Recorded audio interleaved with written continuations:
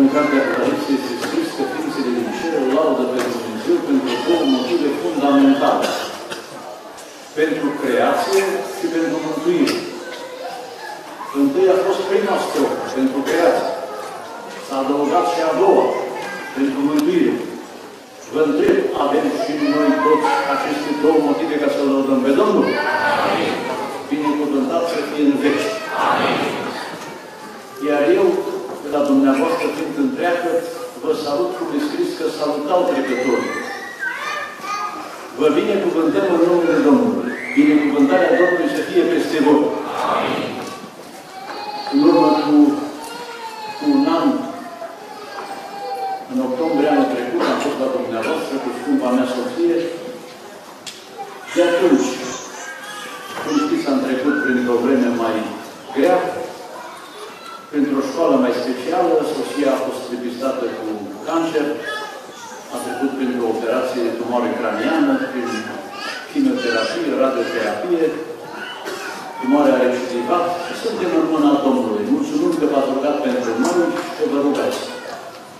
Să vă asculte Domnul rugăciunile toate care le faceți. Amin. Amin. Uitându-mă aici peste dumneavoastră, peste părinți, peste copilași, mi-am ce scrie în salm că Domnul mulțește poporul ca pe niște turme. Și în turmă e gălăgie de felul ăsta.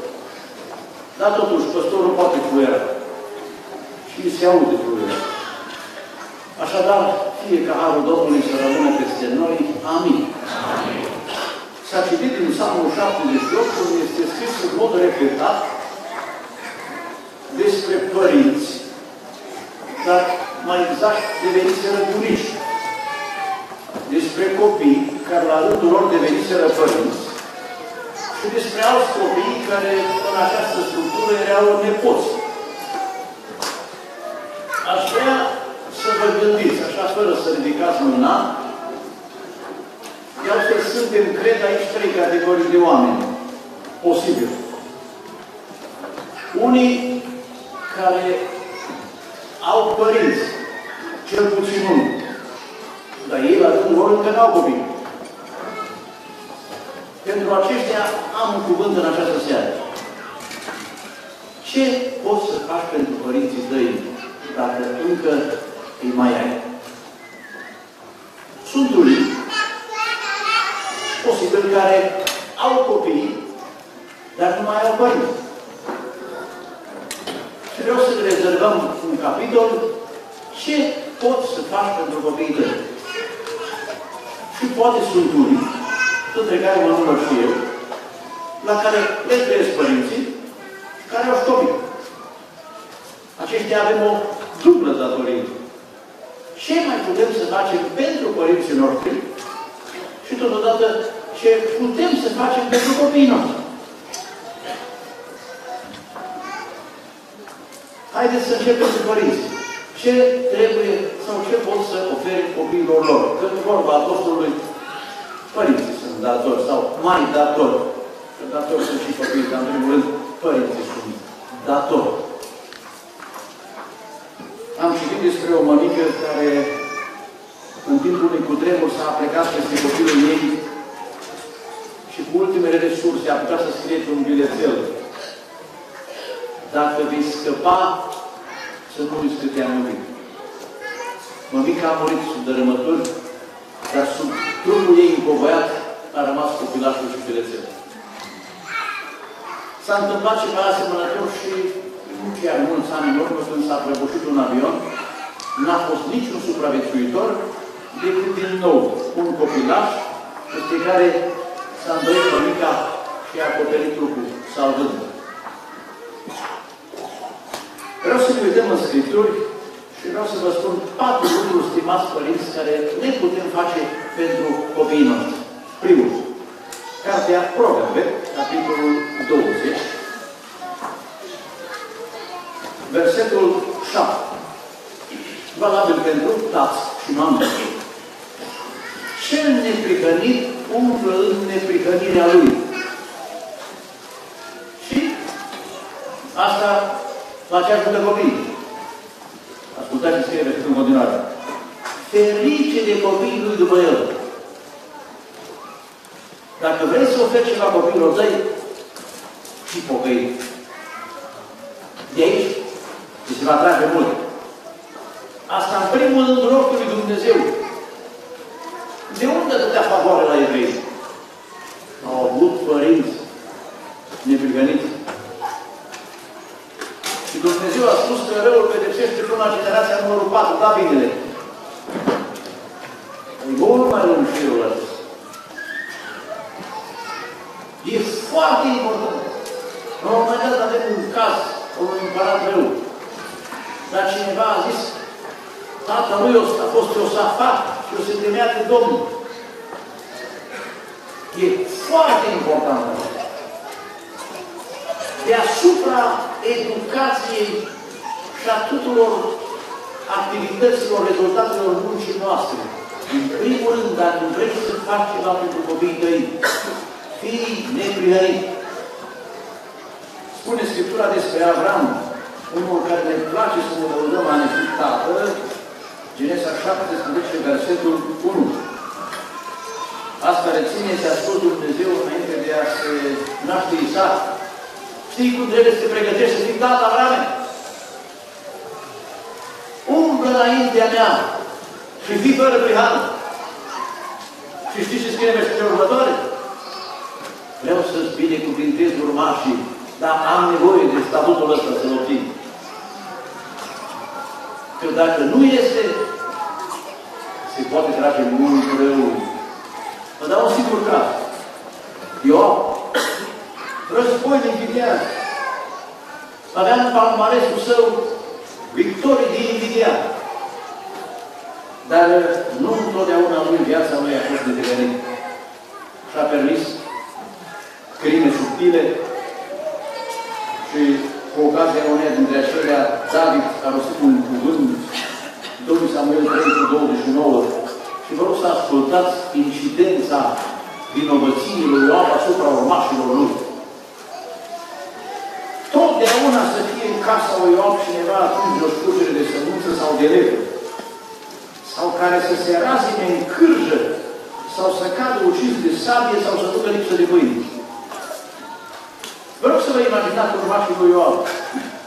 Unul handicapat, altul scos din societate de prost și să te întreb, cum au întrebat ucenicii, cine au păcătuit?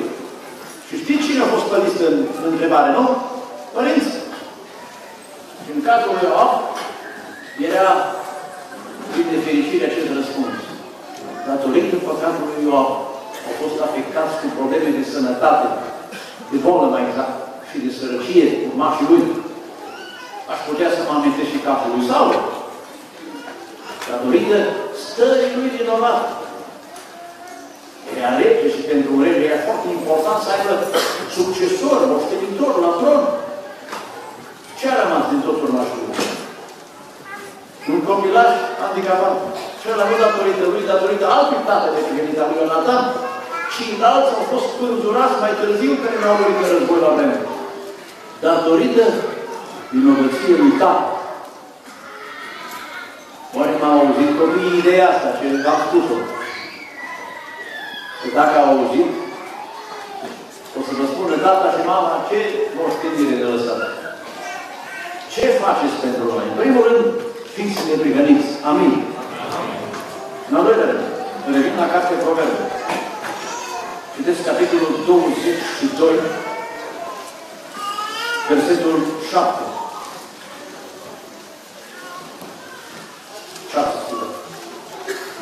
Învață pe copil calea pe care trebuie să o urmezi. Educația sunt, evident. Și ce câștigă copilul de aici? Are șanse toată viața să știe ce are de făcut, cum se comporte, pentru că versetul continuă cu cuvintele. Și când va îmbătrâni, nu se va abate de la ea. Este scris în Proverbe și din capitolul 1, ceea care ține de întoria noastră ca părinți. Că aici e greu să mă adresez la toți copiii să fie atenți. Măcar că am auzit o relatare interesantă, cineva povestea un caz și știți, istorioarele sunt mai captivante, un copil se juca sub scaun cu mașinuță. Și fratele predicator spune și a avut un accident și copilul de sus a murit. Sunt atenți totuși, dar acasă când sunt mai puțini, puteți să faceți ce scrie aici. Să învățați, cum scria versetul 2, pentru cunoașterea înțelepciunii, învățăturii. Versetul 8, conchide. Ascultă, fiule, învățătura tatălui tău și nu le da îndrumările mamei tale, că cele sunt o curună Pune-i coroană de lege fiului tău și când e vorba de lege, rămâne lege de toată viața, nu ca și la succesiuni democratice. Învățătura îl poate ajuta să-și păstreze tronul, harurile pentru toată viața. Este interesant de reținut că e trecută în lista profesorilor și tata și mama. Sper că nu lipsiți la ore. Că uneori sunt copii la școală care se bucură când încep profesor. Mai întâlnit și pe acasă am de situații că rămân copiii să se joace. Și stau zile mai lungi, că nici tata să predea, nici mama n-are vreme. Că e angajat numai la bucătărie. Nu uitați! Asta valorează mult pentru copiii noștri. Cu cât mai mult că trăim într-o societate care învață altceva. Și noi trebuie să contrabalansăm educația stricată din societate. Tendințele lor păcătoase. Asta ne solicită oricâtă treabă am avea să ne facem în vreme. Solomon își amintea, capitolul 4 din Proverbe, mie îmi place să spun aceste versete, că sunt amintirile din copilăria lui Solomon. Ascultați versetele. Versetul 3. Când eram încă fiul la tatăl meu și fiul Ginga și singur la mama mea, el mă învăța atunci. O, să-și aduc aminte copiii dumneavoastră de examene care ați învățat, de versetele care le-au memorat.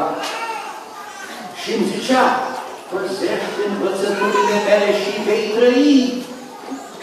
Este har pentru viață să poți educa mașă. David, în cazul lui Solomon, în mod deosebit cu experiența lui de pocăință, a socotit că încă nici nu e suficient să se rezolve la învățăturile pe care le dădea el. Am angajat și pe prorocul Nathan. Sper că îi aduce și la biserică, la școala biblică, nu? Face. Dar asta nu vă suplinește. Trebuie să fie doar în anex, în completare, pentru socializare, frățească. Eu aș vrea să trec mai departe, dar parcă totuși aș mai întreba o dată. Chiar nu faceți treaba la capitolul ăsta?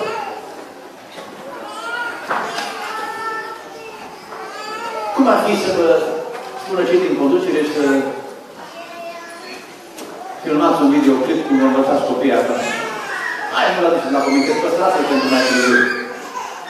Dar și dacă nu-l faceți, vi se păstrează în viața copiilor. Videoclipul rămâne. Da, îmi spune un vers. Acum când toată lumea în graba alea mă duc la treabă, mă duc cu gândul în altă parte, îmi amintesc de vremuri moarte. Când tata ne citea din carte. La vechi preoți la altare, stăteam cu toți mici și mare. Și pentru fiecare în parte, chiar tata ne citea din carte. Azi trăim o lume rea păgână. Și fără cartea acea bătrână, nu a fi fericirea în alte când tata l-a citit din carte. De aceea mult iubiții mei deprindeți vechiul obicei. Când tata cu simț aparte citește iar din Sfânta Carte. Amin. Amin. În al treilea rând, ce mai putem să facem pentru copiii noștri? Rămân tot în contextul cărții Proverbe. Și vă citesc în capitolul 22, versetul 15. Nebunia este lipită de inima copilului. Dar iuiaua certării o va deslipi de el. Mustrați-vă copiii. Rămân tot aici. 23 13. Nu cruța copilul de mustrare. E foarte important acesta. Sau capitolul 29, versetul 15.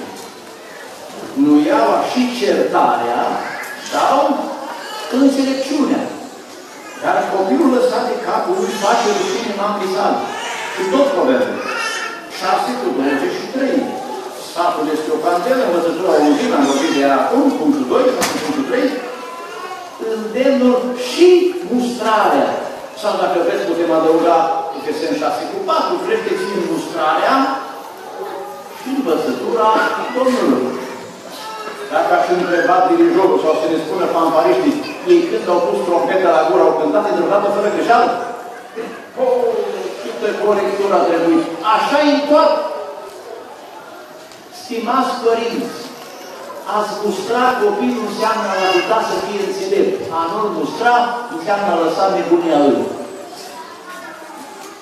Știți despre care tată e scris că nu și-a mustrat niciodată copilul? Știți, nu? Sau nu numai David, e vorba și de dumneavoastră. Ce s-a ales de copilul acela crescut fără mustrare? Vă rog, rețineți, nu e vorba de jignire. E vorba de mustrare și cum scrie în Matei 18, când mustri pe cineva, vrei să-l câștigi. Adică să-i faci observații corecte, cu bună voință, ca să înțeleagă ce nu și-a însușit din învățătură, ca să știe ce are de făcut. Și de regulă, mustrarea este bine să fie făcută în privat. Să nu dăm unuia ce se cuvine altuia. Și bine ar fi tata și mama să fie în același domn. Și ar fi ceva bine să nu s-a să ce bunici, dar e prea aveți.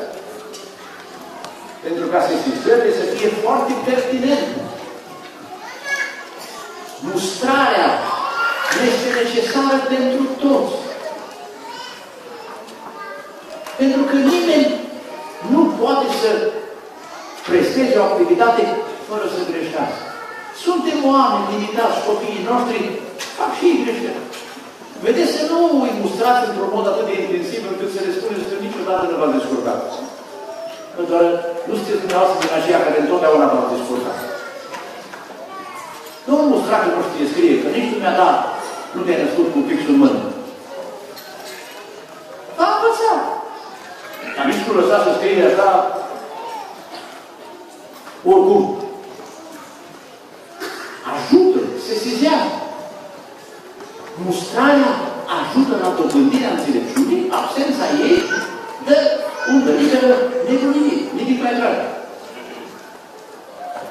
Și în al patrulea rând, ce poți să oferi ca părinte copilului tău? Pedepsește-l. Citesc și mă justific cu cel mai superlativ exemplu. Proverbe, capitolul 20 și 3, versetul 13 și 14. Căci pedeapsa urmează imediat după mustrare. Nu cruța copilul de mustrare, că dacă îl vei lovi cu neaua, nu va muri. Lovindu-l cu neaua, îi scoți sufletul din locuința morții. E ultima intervenție. Ca să nu moară. E tot în proverbe. Capitolul 13, versetul 24, cine cruță noiaua urăște pe fiul său. Dar cine îl iubește, îl pedepsește îndată. E foarte important să înțelegem nevoia de pedeapsă în viața copiilor noștri. Creștin 29 cu 7, zice, pedepsește fiul că și îți va da o dignă și îți va aduce desfătare sufletului tău. Am întrebat pe un tată, care la rândul lui mi-a relatat experiența lui și al lui bărbat credincioși împreună, de ce el a avut succes cu copiii și celălalt nu. Între altele, celălalt care a avut copii ce s-au dus în lume unul cu altul, zicea, eu să-mi pedepsesc copiii mei, Doamne ferește. Dar întrebarea mea este, Doamne Dumnezeu și pedepsește copilul. Ăsta e exemplu care vi-l dau. Deuteronom, capitolul 8.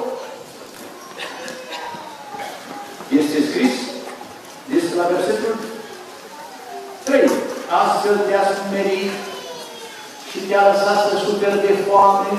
Mămicilor, știu ce spune legislația europeană. Uneori trebuie să vă pedepsiți copiii la capitolul bucătărie. Să-i învățați. Cum spunea cineva, la copii de copii să mănânci. Să mănânci. Nici o problemă. Mai târziu, e foame. Dar poftim, știi ce ți-am dat să mănânci? Nu mănâncă. Nici o problemă. Și a treia oară a întrebat el, mai este cine ai zis? Dar nu știu cum va trebui să procedați, că trebuie să fim înțelepți ca șerpi și fără tine ca porumbeii. Dar a zis Dumnezeu, și aici, în versetul 4, hai anunțam vechii. Deci nu recurgem la pedepse care se afecteze. Picioarele nu ți s-au umflat. Mustră cum mustră un om pe copilul lui. Și spune Scriptura Evrei, capitolul 12, vă citesc de la versetul 5. Nu disprețui pedeapsa Domnului și nu-și pierde inima când ești mustrat de el, că Domnul pedepsește pe cine îl iubește. Nu așa am citit din Proverbe 13, că cine nu-l pedepsește, îl urăște. Dar societatea noastră este așa cum este. Ne cere să nu pedepsim copii și când cresc mare ajung cu la mare și pedepsesc ei. Ei amendează, dacă pușcării. Dar nu era ușor să pedepsim noi cu, cu spirit părintesc, așa cu bunăvoință și cu dragoste. Și oricum, chiar dacă n-ar pedepsi societatea, în final pedepsește Dumnezeu. Cine vrei să-ți pedepsească al tău copil? Societatea, adunarea sau Dumnezeu? Fă-o tu să n-ajungă la ceilalți. Găsește metodele punitive care se impun. Restricții de o formă sau alta, este scris despre stat, în concept biblic are menirea să, pede să pedepsească pe cei ce fac răul și să răsplătească pe cei ce fac binele. Ceva de genul acesta ar trebui să adopte și părinții. Rețineți aceste patru oferte ale părinților pentru copii. Fii neprihănit, învață-l, mustră-l și la nevoie pedepsește-l, că e ultima instanță de a-l scăpa de moarte. Amin? Acum care aveți părinți, urechi de la mine. Ce putem face pentru părinții noștri? În primul rând, și citesc tot din Proverbe. 10 cu 1. Spune Cartea Sfântă, un fiu înțelept este bucuria tatălui, dar un fiu nebun este mântirea mamei. Fii înțelept ca tata și mama să se bucure. Fă și tu asta pentru ei. Scrie tot în Proverbe, citesc din capitolul 15, versetul 21, nu, 20. Un fiu înțelept este bucuria tatălui. La un doar pagina, 17 cu 21. Și de dă naștere unui nebun, va avea întristare. Auzi, din felul care te comporți, când aude tatăl tău și mama ta, că ești însurat sau nu ești însurat? Că știu ce însurat, dacă aude tata că nu te împaci și mama, mai mare durere nu le trebuie. Și scrie tot aici, versetul deci 21 și versetul 25, în fiul nebun aduce necas tatălui său și amărăciune cele ce l-a născut. Ce stă provoci părinților tăi? Se bucură? A plâns vreodată mama din pricina ta. Da, da. Vă amintiți ce a spus Iuda când Iosif a zis că Beniamin rămâne rob și el a spus să plece. Eu vorb acolo în Genesa 43. A! Să nu văd luminirea tatălui meu. L-a necăjit el până atunci când o fi fugit de acasă. Știți? L-a zis, eu nu mai suport să-l văd pe tata necăjit. Se spune la român că lacrimile părinților te ard. Păi să se bucure. Dă-ne câte un telefon.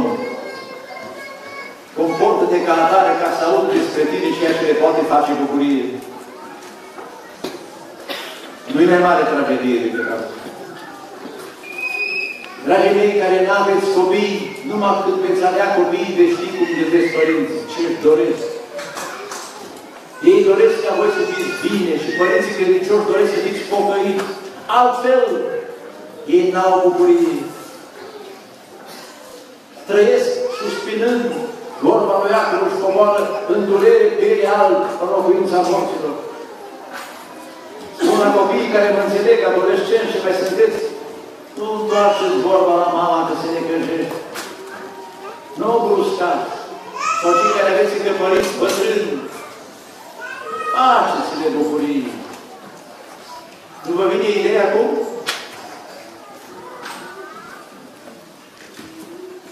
Vă va da Domnul Har și călăuzire. Amin? Citeam despre o fetiță care a primit două mere. Și a zis, cine le-a dat, dă unul la mamă. I-au urcat din vreme, puțin în patru, nu știu în al doilea. Și ne-au văzut, zice, păi da, fata asta nu e bine crescut. Dar când au urcat al doilea, s-a dezvăluit taina, și către mama, ia ăsta că e mai dulce. Și am înțeles ea la, la vârsta ei, să-i facă mame bucurie, să-i dea mărul cel mai dulce.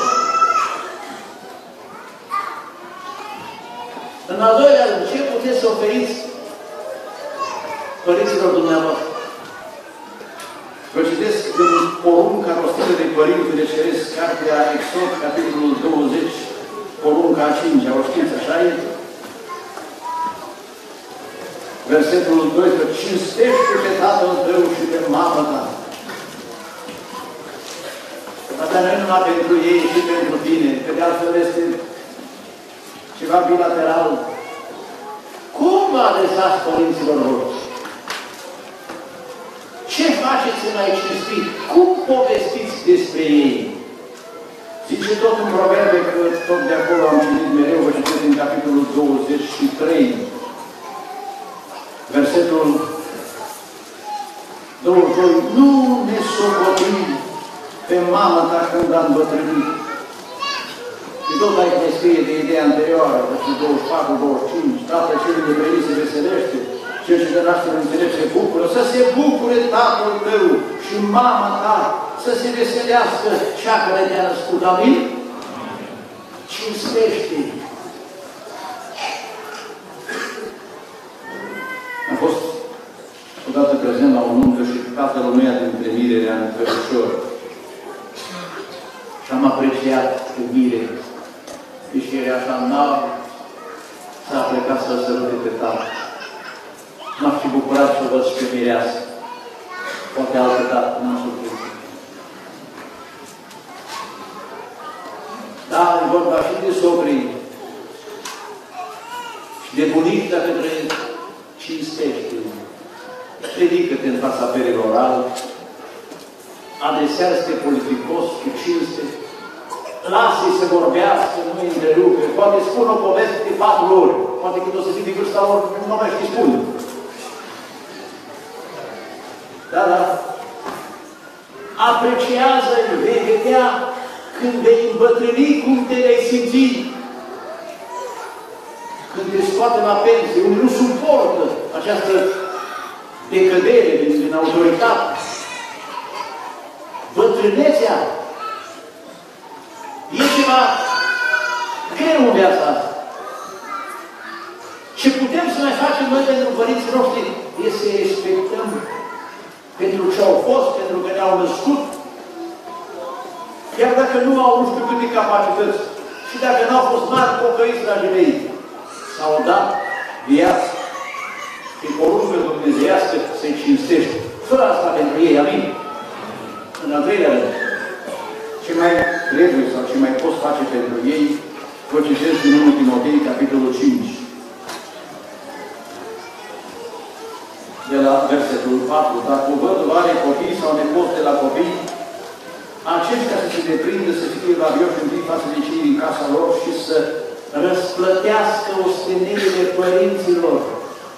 Căci lucrul acesta este plăcut înaintea lui Dumnezeu, versetul 16. Dacă vreun credincios, fie bărbat, fie femeie, are văduve în familie, să le ajute. Să nu fie împoporate cu ele biserica, pentru ca să poată veni în ajutorul celor cu adevărat văduve. Știți ce a spus Iacov și a cinstit părinți? I-a trimis la tată să ceva special, când mergeți în țară sau mai faceți câte un pachet. aflat în Cananii că eu stata te aduc aici. Eu grijesc de bătrânețea ta. Și abia Iacov vrut băieți, dacă tot fost bătrân, l-a chemat pe Iosif, băi, băieți, eu pe tine mă vizit. Asta crede nu doar pentru că Iosif avea poziție și avere, ci fiindcă știa Iacov că se achită de această datorie, asta rezultă din cuvintele lui Iacov când zice în Genesa 4.7, poartă-te cu mine cu credincioșie, adică nu mă abandona. Da?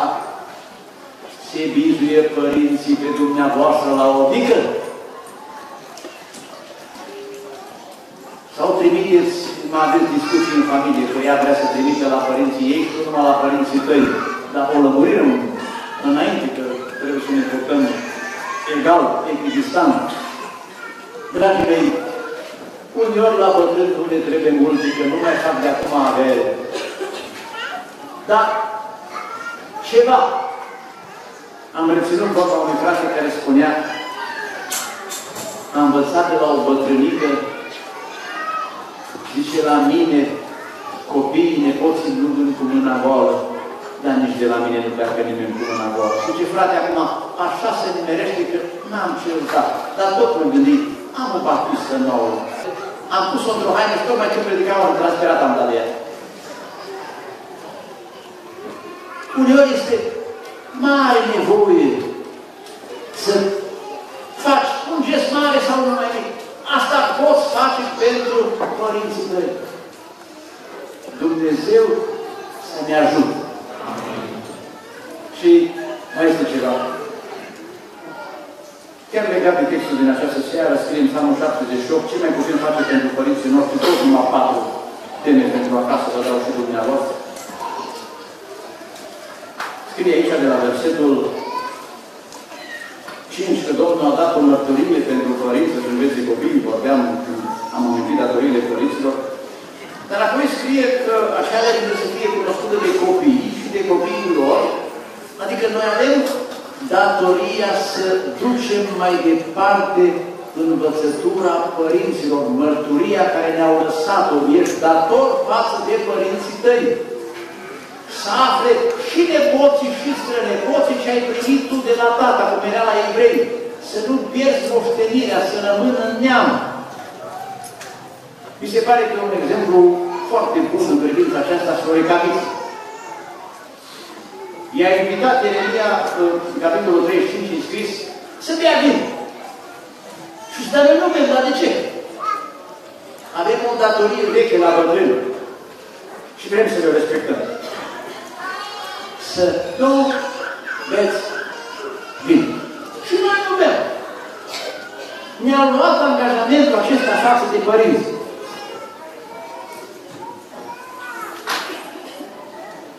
Fetelor, ce v-au rugat mămicile de urmă? Înainte de a vă mărita, cum să vă comportați? Țineți cont de ce v-au lăsat părinții care încă sunt în viață sau nu mai sunt, cu vorbele care vi le-au cerut? Nu neapărat cu limbă de moarte, cu inimă de părinte. Sau nu mai țineți cont de asta? Fie că e un legământ special la care te-ai angajat, fie că e doar un sfat părintesc. Ești dator și asta înaintea Domnului, chiar sunteți dator să duceți familie Evanghelie mai departe, curată cum ați primit. Și am auzit ce ne-au învățat părinții noștri. Aceea cum spune mai departe. Când hugenoții au fugit de persecuția catolică în munții alți, au plecat credincioși că altfel nu trebuia să se retragă. Dar când misionarii de mai târziu, după câteva generații, i-au găsit, ce au găsit? Niște sate de bețivi și de săraci. N-au păstrat mărturie. Și scrie despre fiul Efraim aici în Psalmul 78 în continuare, că pentru că n-au păstrat legământul, nu și-au oprit această datorie părintească, au dat tot în ziua lui Asta spunea Iosua. Ce veți face voi când murim noi? Și s-a dovedit în cartea judecători că acești copii n-au știut ce datorie au față de părinți. Să transmită adevărul la generațiile care urmează și când au venit alții, nici nu știau că există carte și ce scrie în carte. Pentru că au fost copii care nu și-au îndeplinit această datorie față de părinți.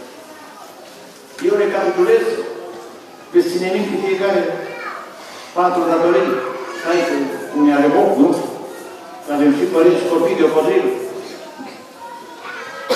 Dar pe măsură ce anii trec, parcă tot mai apăsat mă simt și mă întreb dacă mi-am făcut această datorie față de părinți și față de copii. Asta e datorie mai fundamentală decât cea față de biserică, aș spune. Că biserică sunt și alții. Dar copiii nu suntem decât noi copiilor. Datorie fundamentală de lui Dumnezeu. El a lăsat ca structură de bază societății familiei. Deci ca părinți suntem datori să trăim o viață model, să aibă ce să vadă la noi. Să întrebe ca și Isaac pe nepregătitul Avram, ăsta e focul, le cuțitul, multimelul. Eu așa te-am văzut pe tine, tată. Doi, să-i învățăm.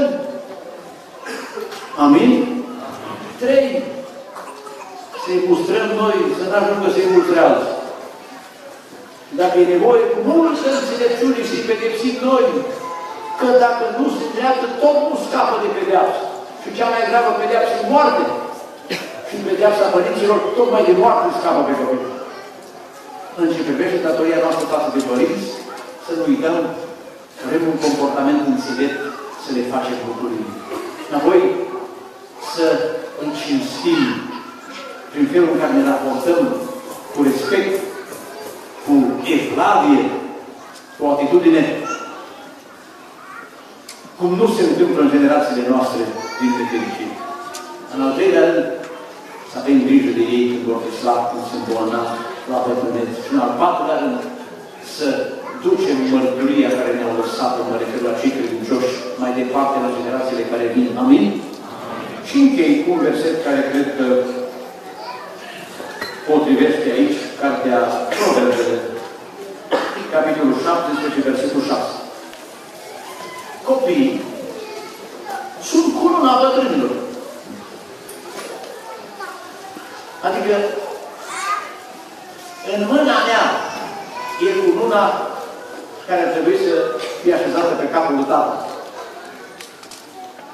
Și dacă eu nu mă compor ca atare, tata rămâne fără cunună. Da, așa este. Dacă vreți cununa pe capul Tatălui Ceresc să reușește în mod deosebit prin fiul care l-a avut, așa e? Da? Cununile părinților sunt în mâinile noastre. Nu le călcați în picioare. Bucurați-vă, le puteți așeza pe capetele părinților lor. Partea a doua versetului. Părinții sunt slava copiilor lor. Da? Dacă vrei să fie de cinste copiii tăi, comportă-te ca atare și când îl va întreba cineva pe copilul tău, a cui e? Să nu-i fie rușine la copil să spună și tată să-și mai Că de aici pleacă cinstea la copii. A cui este? Da? De aici a plecat cinstea Fiului, că era singurul răspuns din tată. Și de aici pleacă cinstea copiilor noștri, avându-se în vedere părinți. Și Dumnezeu privește așa. Ei bine cuvântează ca atare prin prisma noastră ca părinți. Așadar, să ne ajute Bunul Dumnezeu să îndeplinim rolul de părinți și de copii.